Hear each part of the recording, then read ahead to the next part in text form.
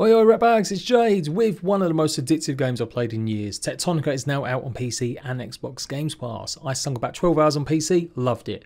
Booted it up on my Xbox Series X and that's exactly what you're seeing today. I'm going to show you how to play the game. I'm going to get through the first area with lots of top tips and then look out for more continuing videos as I'm really loving this game.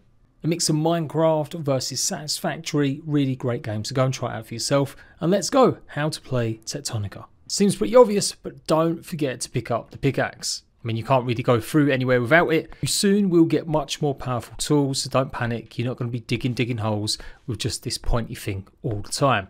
So, first things first, you do have a story and a guide basically telling you what to do. However, it does rattle through quite a few things early game and it's kind of confusing. It in fact gives you a bunch of stuff at times and then you're like wondering what you should be doing. So go ahead and press the X button and flick over to your journal. This will give you an idea about what you should be doing. Not the logs, that's just simply story that you found, and not the data bank either. The journal is what you want to focus on if you're ever a bit lost. Right now it hasn't got anything going on other than just the tutorial, but soon it will fill up with quests that you can complete. This first area that you come across is quite expansive, but once you've actually done the parts for the tutorial, I would say move on to the next area and make that your main hub. It's got far more resources that you can mine and a much larger space for you to set up your first big factory. Now you already got a bunch of components if you've gone and looted some of the chests and you can see what you can make by using the right stick to move over. You can always craft pretty much anything using handcrafting but it will take longer. That's why you need to set up fabricators later on to do it faster. The best feature about this game is you don't have to make all the individual components Instead, when you go ahead and craft something, it will simply make the components for you. It will take a bit longer, but it's really good. Go ahead and craft all four of them and get straight over to this iron spot here.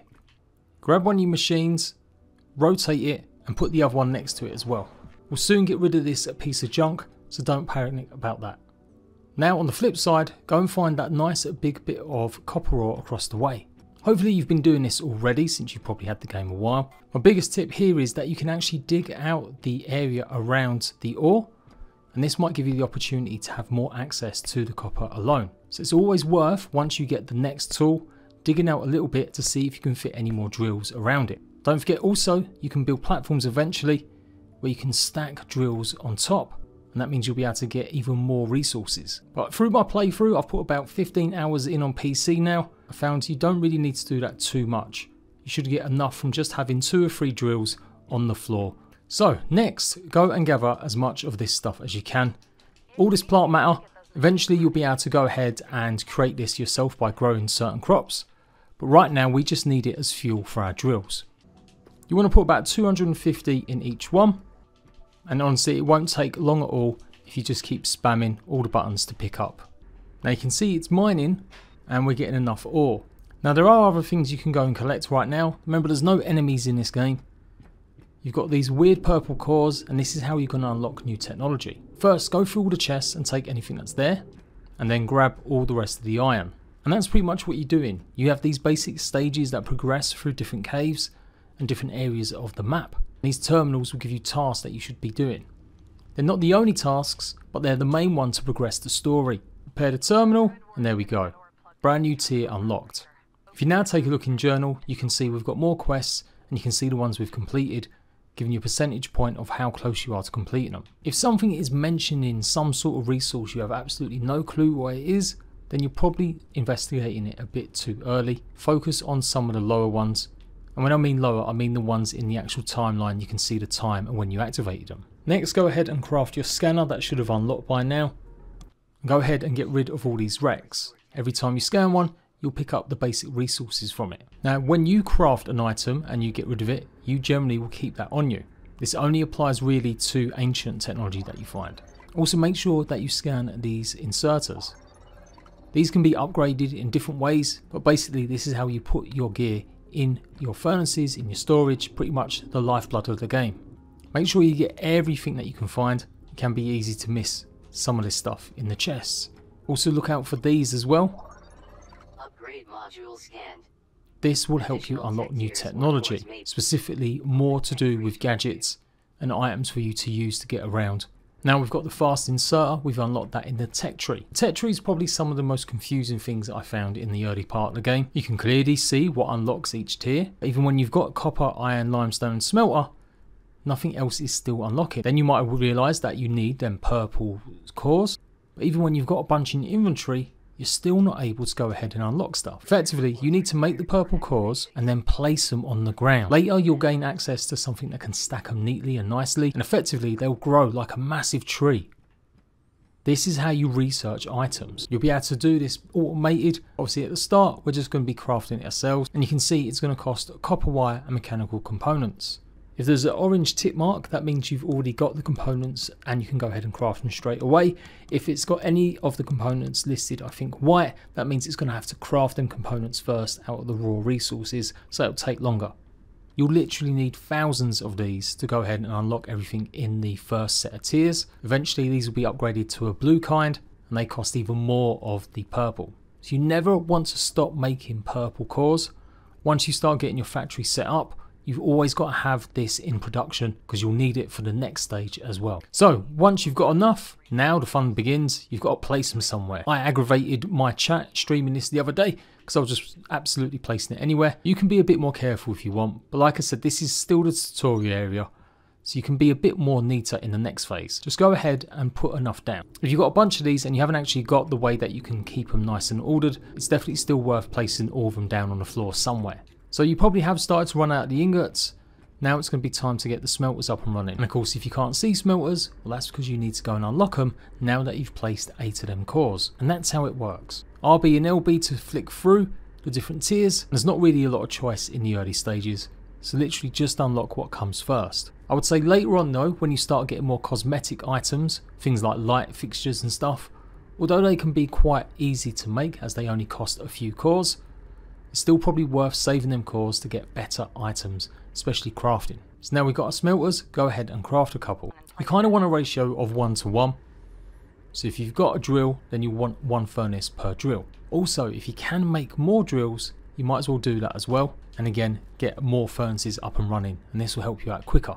You'll gain upgrades to the crafting time, smelting time, etc. later, but it really is a bit of a bottleneck how long it takes to smelt stuff down. So you definitely want to have as many smelters as you've got drills. Remember if you've misplaced something or it's just not fitting at the moment you can go ahead and dismantle it by pressing LT and then RT to get rid of it. As you can see it's giving me the mining drill back and all the resources inside it including the stuff I was using to power the drill. So what you want to do next is get your smelters and make sure that you place it with just one block in between and for now we're going to be doing this manually, but in a while we're going to have the inserters transfer the ore into the smelter. Later on in your big main area you want to leave more space so you can do all sorts of offshoots, but in this tutorial area keep it nice and tight. At this stage you're probably going to have to go and get a lot more of this. Also don't forget your scanner, you do want to scan all of the resources that you come across, any weird plants, and if you go ahead and scan these lights you actually get given them so you can use them where you want. So now top up your furnaces with obviously the plant matter and likewise go and do the same for the copper. You'll notice that your copper drill can hold 250 but this can be increased later on. So don't forget to empty the ones that you set up earlier to then go ahead and put straight into the smelter. So it really shouldn't take too long at all and then you've got all the ingots that you need to progress. Whack them in, upgrade your terminal, boom, next tier. Now we've got unlocked conveyor belts, inserters and containers. We've actually got to go ahead and put the stuff here inside. So obviously if it's highlighted, that means you could go ahead. Don't deposit your iron or your copper in first. Instead, make the containers, the inserters and the conveyor belts. So by now your conveyor belts are made and now we're going to make the rest of the stuff. Two of these and now we just need to make four inserters so you may need some more resources. Remember, if something has stopped and it hasn't run out of fuel, it's probably because it's got too many in it. You can upgrade this so eventually you can hold 500 and even more, but you might have to empty out your mining drills as it's simply just not doing it, remember, until we actually put our conveyor belts or our inserters down. So for now, keep doing this manually, empty your drills, and make sure you distribute it all evenly, don't just put everything in one smelter. You can always take stuff out as well manually like that. Now we can make the inserters. Go ahead and make a bunch more. In fact, if you can make all 10, you might as well. Deposit the inserters you need in the terminal and then with the rest start connecting up your drills to your furnaces. Obviously the arrows are pointing in the right direction as that's where the flow will go. If it looks like things aren't moving, well don't forget it has got to cook the next piece of ore before it puts the next one in. You can dump a bunch in there but the inserter holds off putting another one in until it's ready. And obviously if you want to spend more time you can go ahead and put the actual conveyor belts down and have it all running nicely rather than kind of do it quick just to get through the guides or the tutorial. But here you go, here is what it looks like when it's on the actual conveyor belts into a storage. Craft a couple of these extra ones up as well. And again you can place these directly opposite your smelter with just an inserter in between and it will go ahead and start filling up your box. You can of course run your conveyor belts as well if you need it to turn an angle, instead of actually just laying it like that and then doing it like this, you can see it's not hitting on. Sometimes if you do it at the end, it should turn, but you're better off trying to get used to flipping them as you move. So press the RT button to place, then tap the RB button to go in what direction you want it to go. You have to move over to what side it is. And there we go. We've now got two of them smelters delivering the ore or the iron ingots into the box. So we've got enough to proceed. Let's dump that in. And boom, next tier. An early unlock with your cores is being able to gather items in a big area. So this works for any of your smelters or storage boxes that you have. So it might be worth unlocking that with some spare cores. This can be upgraded much, much more later. So you can literally gather everything in your storages or whatever it is much quicker. So for now though, do a run. I wouldn't necessarily even build conveyor belts at the moment. It's not really worth it. Just focus on what you need to do next for the terminal. You can see now we've got the mission to follow the beacon to the secured facility. You can stay here and make this place your own and you can run the conveyor belts down but it's quite away from the main hub where you're going to be spending a lot of your time. That's why I say just kind of dump this area. So let's go and get some more stuff. Follow the little river just past the copper deposits and you're going to be going pretty much this direction. You'll start seeing the purple plants through the caverns and head towards the exclamation mark.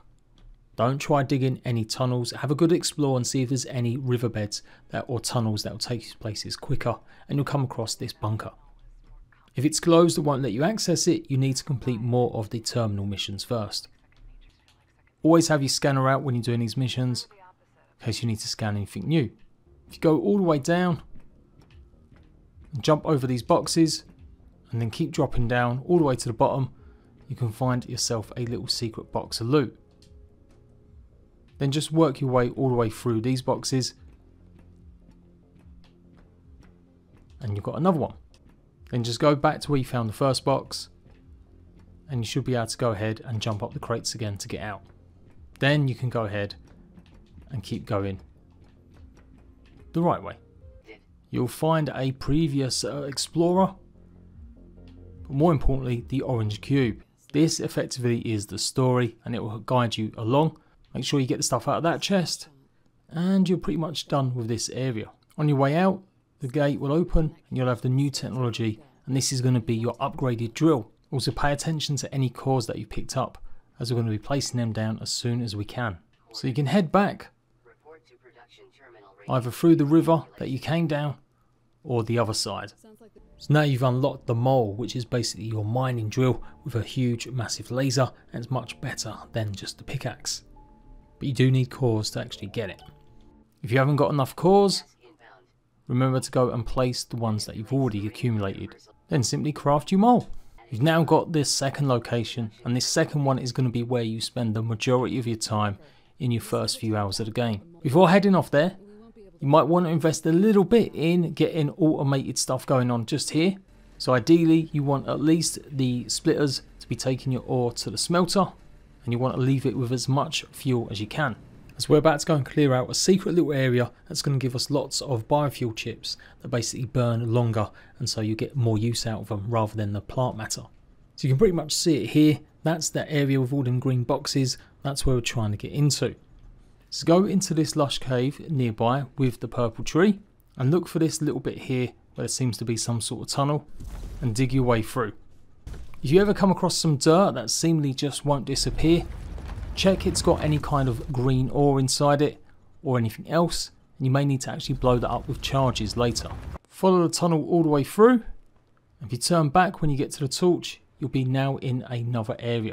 Totally worth going ham on this and picking up all of the splitters as this will give you the core components you need. You might also find some of the bio bricks in this storage. So these are the things that will burn a lot longer in your smelters and fuel your drills. You'll learn how to make them later as well. So get anything that's broken inside here by scanning it all. Now you could actually just come in here and smelt up your ores if you really wanted to and just dump a lot of the bricks inside to cook them quicker and easier while you're doing even more. There's not a lot of space and yeah, you can't move some of these items that are left here. Clear all the bricks from containers, otherwise they're going to keep pumping out onto the conveyor belts. And yeah, you can just dump a bunch of ore in here if you want to take more of your time and get lots of ore going. But you can't place any new machines.